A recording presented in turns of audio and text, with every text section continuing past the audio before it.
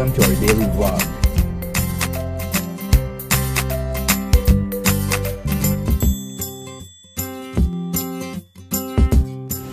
So guys, enjoy watching.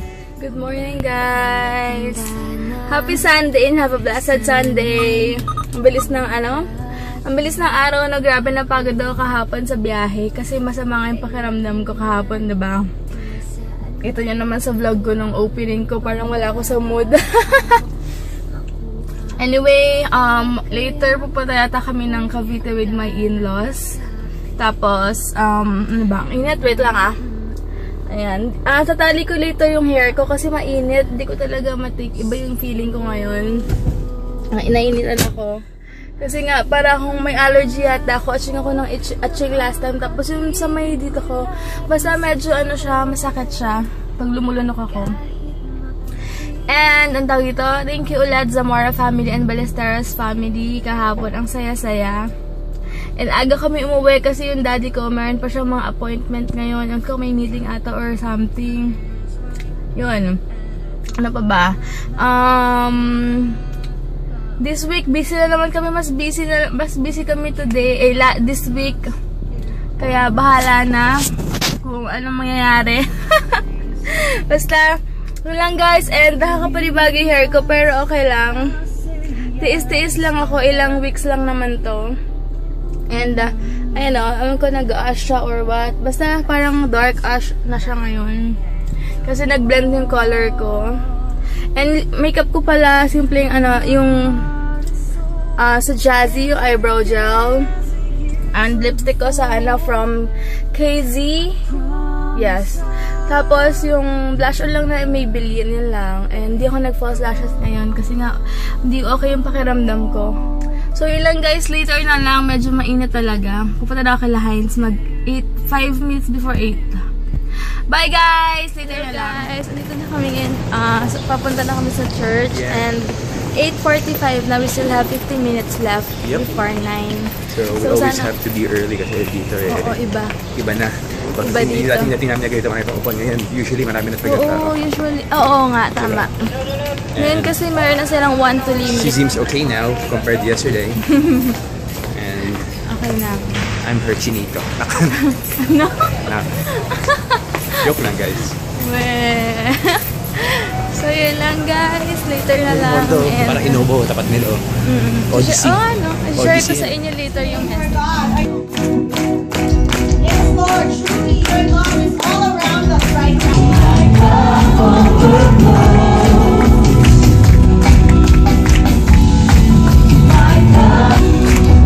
hindi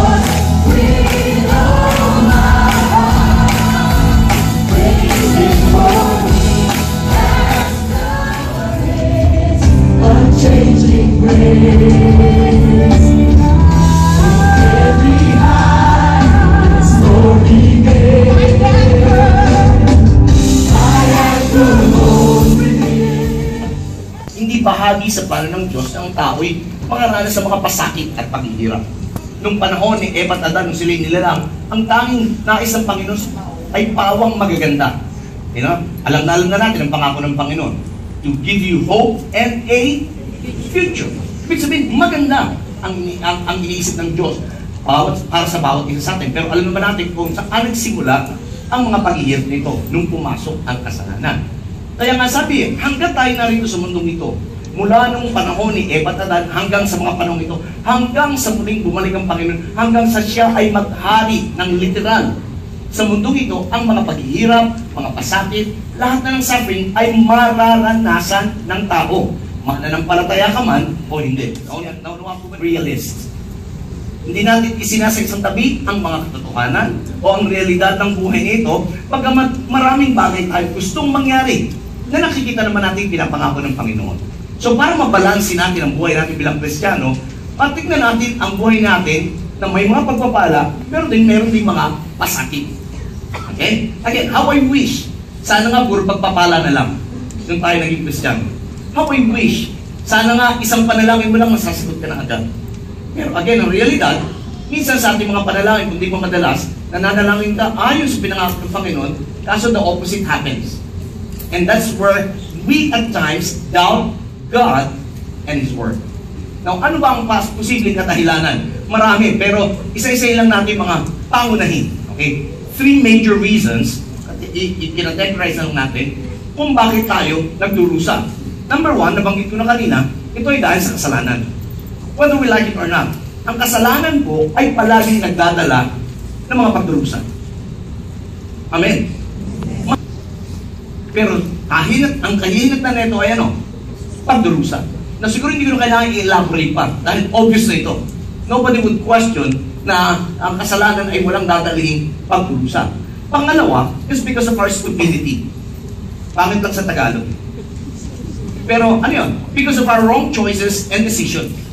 Kaya nagdurusa tayo ay dahil sa mga maling pagpili natin sa buhay. Mga maling at desisyon na ginagawa natin na, you know, pansamantalang tingin natin ay okay, pero hindi natin na isalang-alang ang iba pang mga posibleng mangyari. Kunyari, marami yung mga tao ang nagpapapray tungkol sa healing.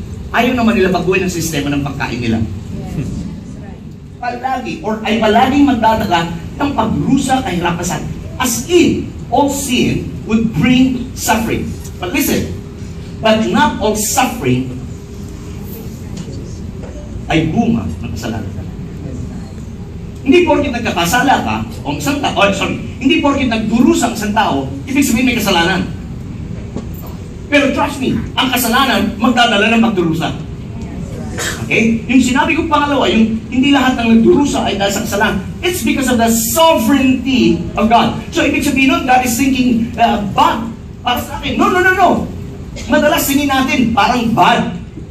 But again, at the end, because God knows everything, it will work out for your good. Kung tama ang tugon.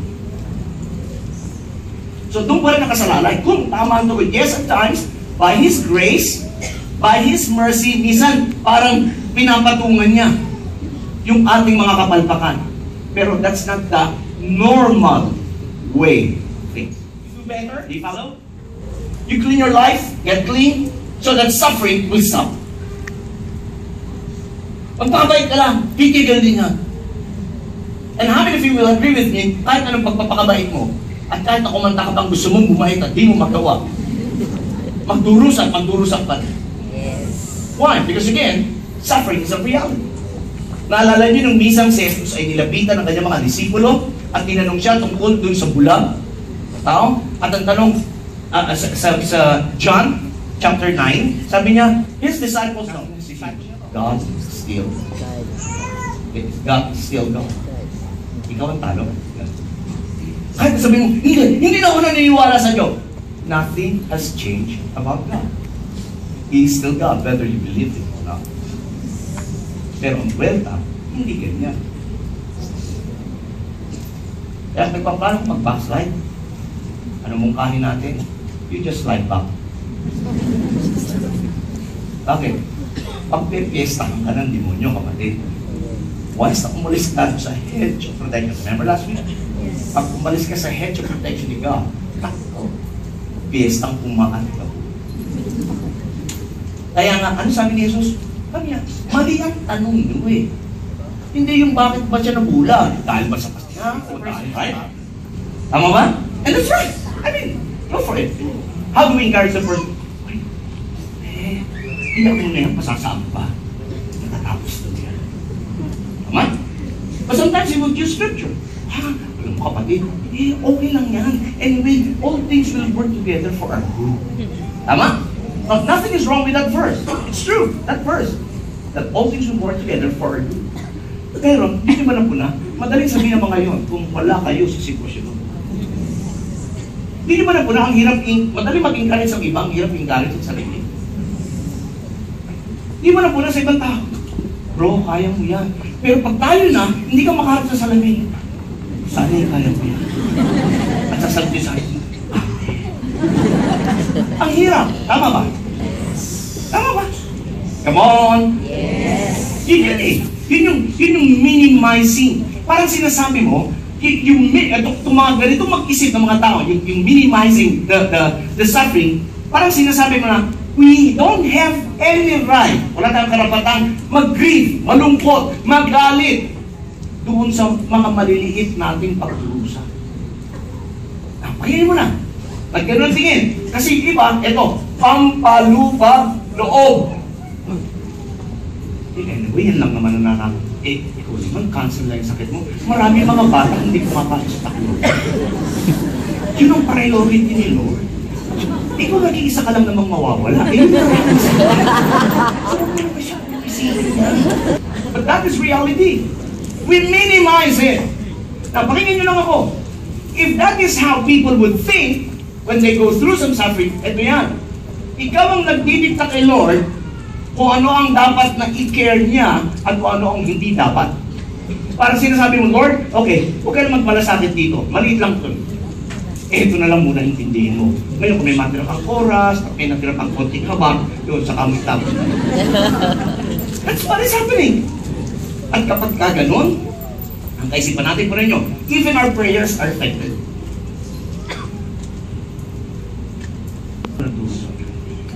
Balik lang naman to eh. Okay na to. Unahin na sila. Pero, ito ang pangako niya. Kasamahan kita sa lahat ng mga pinagdaraan. Amen. Lord. Kaya huwag mong iwan si Lord.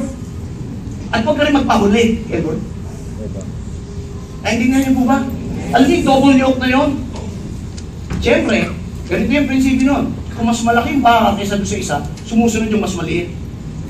And the good news, mas malaki si Lord kaysa sa atin. Kaya kasama tayo, sumusunod lang tayo. Sinabi ni Lord, dito tayo. Liko kaswa, o liko kaswa, liko kasto, o liko kasto.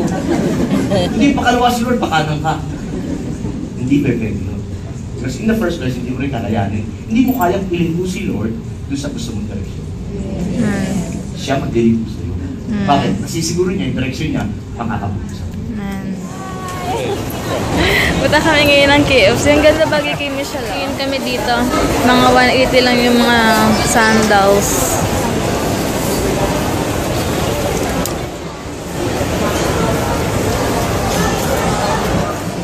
Hello guys, tapos na kami kumain. May problema yung Home Depot namin. Eh, isa pala kala mama daw. This is your cake. We're coming there for you. Kaya pupunta muna kami ng Home Depot kasi may problema ata yung delivery ng mga cars. So, mga Porsche, Audi, and Ferrari. Wait lang ah. Sila sila ba yung kanila? Plate number, okay lang. Kaganda.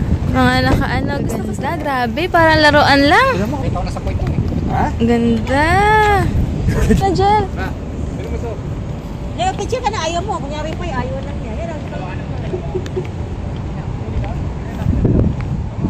Ganda, grabe. Parang lang mga laruan. Yun mamaya, i-deliver na yung dining namin, tsaka yung dresser namin. Kasi nareklamo namin. So, buti na lang. Ah, umalis na pala yung mga sports car. Ay, wait lang, may nice car. Ito ako. Ganda. Pala yung setup namin ngayon. Mama, dito na si, si Kuya. Mai-assemble. Ano yan, Kuya? Yung, ah, green. Yan yung dining namin. Ito kami sa didikit namin yung sticker. Hi ka. Hi! yan.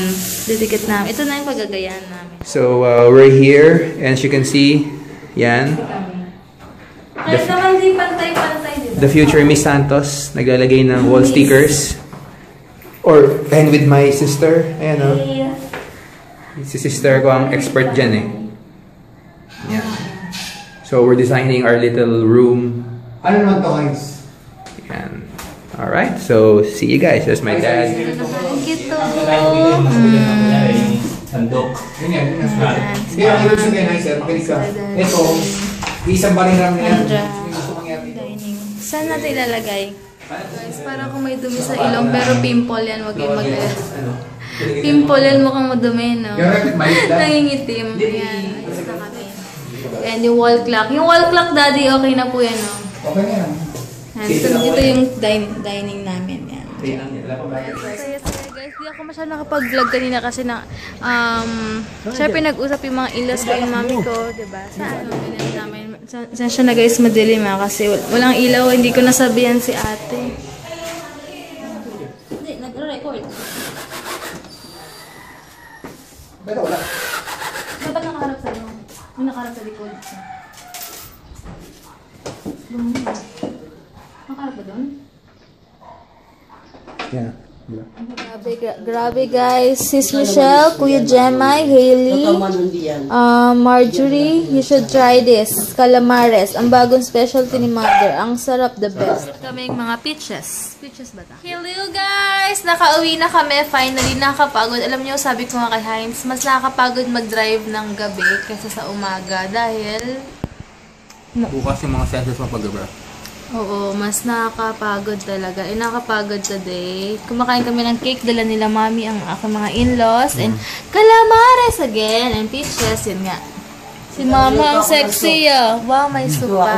Pero ko nagugutom ako eh. Kaya kahit anong prito na lang naputol kanina. Anyway, ang ulam ko pala is hotdog tender juicy. Kasi favorite ko rin yung tender juicy yan. Napakasarap with ketchup.